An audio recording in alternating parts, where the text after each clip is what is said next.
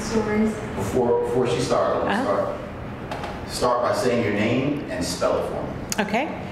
My name is Laurel Ritchie, Laurel J. Ritchie, and that's L A U R E L R I C H I E. So I grew up in Cleveland, Ohio, or right outside of Cleveland, Ohio, Shaker Heights, Ohio. Uh, I have one older brother and an older sister and a younger sister, so Winston Beth and my younger sister Anne. Um, let's see, interesting things about where I grew up. Um, the story that I love to tell is um, when I was in kindergarten, um, my parents wanted to move from one part of Shaker Heights, Ohio to another part. And they found a piece of property that they loved and went to buy it. And the owners wouldn't sell it to them because they were African American. So a friend of theirs uh, bought the property and sold it to them at cost. And then we, my parents proceeded to build a house on that property, and that's the house that I grew up in. And it's, um, it's always amazing to me that even in the early 60s, um, there were places in this country where African Americans had trouble um, um, gaining access. And I always tell that story because I like to believe I'm from a family of trailblazers, and I think my parents were constantly blazing new trails. Um, but at five or six years old, I had no idea the backstory and didn't even know that story until I was probably uh, in junior high school. So your parents are obviously mentors or, role models for you. Who were some of your other uh, influences growing up? Yeah, you know, I, I just have to say that my parents were the single biggest influence uh, on me. My um, dad is a very public and active leader. He was vice mayor of the city uh, that I grew up in. He was a councilman for many years. Um, and my mother was a very, was also a leader, but a very quiet leader. Uh, she uh, didn't work outside of the home when we were growing up. Uh, she served on a lot of community boards. Um, she kept um, four kids who were um, very high energy and very strong willed, moving in the same direction.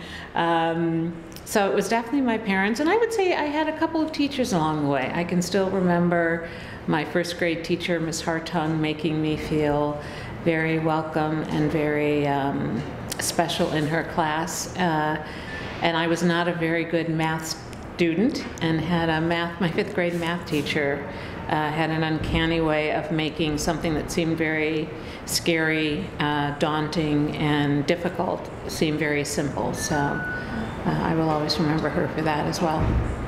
And your, your first grade teacher made you feel special in what way? You know, I just remember thinking she was fascinated by everything I did. You know, I'd, I'm sure I was writing poems and stories, and she thought they were interesting. She loved my drawings. I remember um, it was halfway through the school year when the year changed from like, uh, you know, 67 to 68, and I thought that was fascinating because I'm still in the same grade, but the year changed. And I can remember having this whole conversation with her about it and her sort of just rewarding me for being observant and curious. Um, and I think that's, she just, everything felt interesting to her. So, given what you know now as a full-grown woman, what Still a work in process as a full grown woman, but yeah. What advice would you give to the 13-year-old Laura, given what you know now? Yeah, I would say um, if I could give advice to myself uh, at 13 or the young woman that I was, first would be uh, to have to trust my instincts more.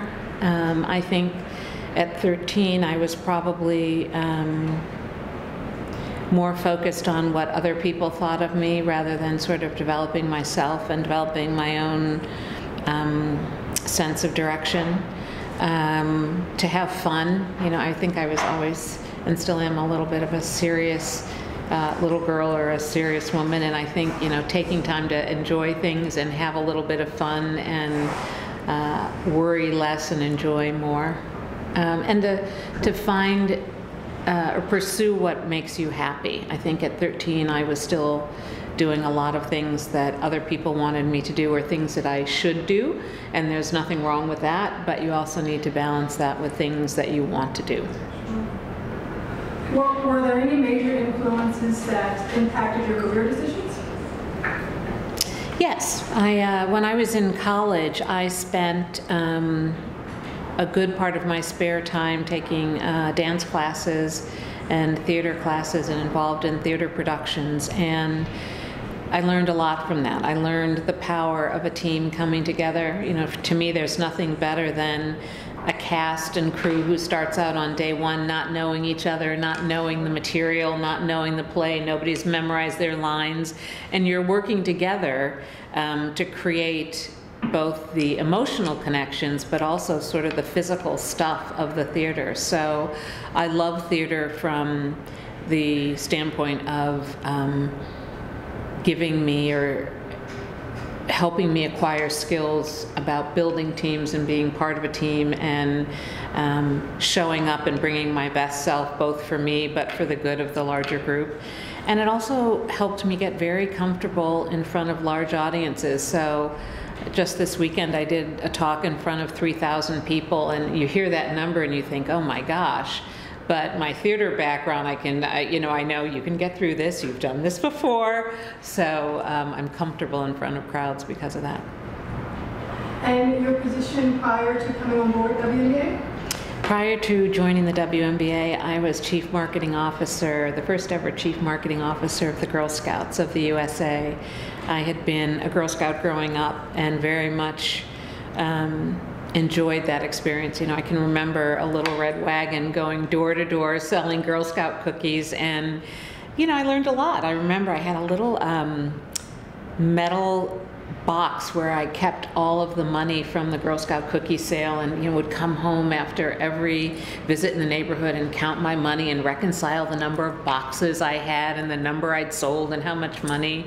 Um, I remember um, having to learn how to approach strangers and introduce myself and make the sale. You know, I think it's no small coincidence that I've spent a career in marketing based on that Girl Scout experience. What are your, your fears and how you push through them? Yeah, my biggest fear is always the fear of failure. You know, I worry that I'm not going to do something right or I'm not going to do something well or that I might um, fall short of my goal. Um, the only way I've learned to get through it is there's a quote that I have in my office, and I can't remember who it's by, but um, it says, Start anywhere. So whenever I'm paralyzed or feeling like, oh gosh, I don't know how to start, I don't know if this is going to work, just to get started. And I find once you get started, you can usually finish up and just keep continuing. Um, and I've also learned to say, what's the worst that can happen if I fail? You know, I get up the next day and try it again. And so that helps me take the pressure off of myself and take some of the, some of the fear out of it. And, and what's your, your personal philosophy of life? Hmm. Well, one is that uh, one thing I really believe and sort of try to live my life by the principle of um, in every moment you get to make a choice. And whether that's what I'm going to eat today. So I can go to a restaurant and I can choose to have, like, you know, a fully loaded cheeseburger and fries and pay the price for that, or I can have a salad with the dressing on the side and to be as conscious as I can in every moment about the choices that I make and not to beat myself up if I've made a bad choice, uh, but to sort of move on from that. Um, I love the Gandhi quote of be the change you wish to see in the world. I think that inspires me to. Um, create the world in which I want to live rather than feel like I have to live in a world that is defined um, by other people. What's the, the best advice you can give to young girls in general and then young girls of color? Best advice I could give to young girls um, not to be too hard on yourselves, to trust your instincts, um, to develop your self confidence, and to know that you are highly valued and that you matter um, and that your feelings are valid feelings. um, to take control of your life and not let other people define it. And I don't know that I would give significantly different advice to young girls of color. I think um, the things that unite us as women um, are greater than those that separate us um, by ethnicity.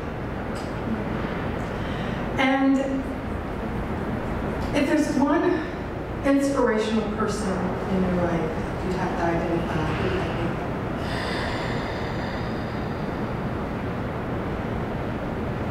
One would be hard. I think the the, the most no, that's not even true. The most inspiring. I, I've been very blessed to have a lot of very inspirational people in my life. Um, I come from a very uh, long line of what I think are amazing females, very talented, strong, beautiful, um, competent, graceful, loving women. Um, my dad has had an incredible impact on my life. You know, I look like my dad. I have my dad's sense of humor. I've got my dad's sense of moxie. We both talk too much, so I got a lot, you know, he's modeled the way for what this DNA, how this DNA shows up in the world. Um, I find I don't have children, but I am um, deeply inspired by uh, my one nephew and four nieces who are um, bright, curious, direct, creative, challenging uh, young people. And you talk about your dad. I've heard you speak uh, highly about your father. Mm-hmm. That's a great segue for, for another question.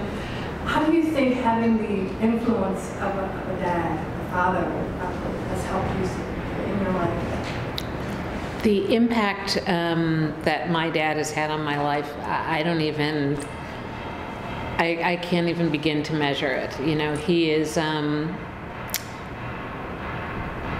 he's a very large man. So my dad's like about six, he's over six feet tall and a really solid guy with a very um, booming voice and very charismatic personality. Um, but with us as kids, he was a very gentle giant. Um, and very accepting, you know, when others were feeling great pressure from their parents to do well in school and do all the right things. My dad always encouraged us to go out, to have fun, to be ourselves, to find our way of um, showing up in the world.